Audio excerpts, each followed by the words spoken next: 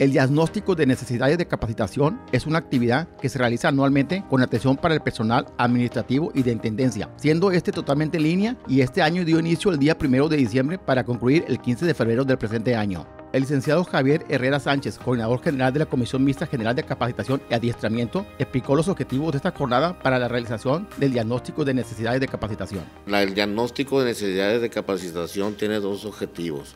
Eh, uno de ellos es que conocer qué, qué capacitación requiere el trabajador y poder brindársela. Y la otra es conocer eh, qué necesidad de capacitación tiene que no pueda ofertar la universidad de momento y también hacerlo conducente desde la coordinación y recursos humanos y la dirección de recursos humanos para para conseguir la capacitación que requiere el trabajador.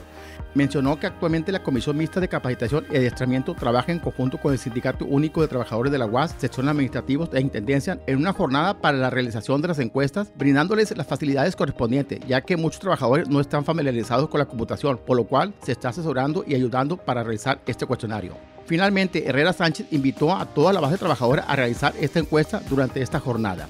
La invitación va dirigida a todos aquellos compañeros administrativos, mi compañero de trabajo, mi compañero de oficina, de aula, eh, mi compadre, mi familiar, que tengan los conocimientos mm, de computación para poder ingresar, eh, apoyen a, su compañero trabajador, porque sabemos que tenemos compañeros que no tienen conocimiento, pues que no saben, que no se acuerdan cuál es su clave, que no saben ni cómo solicitarla.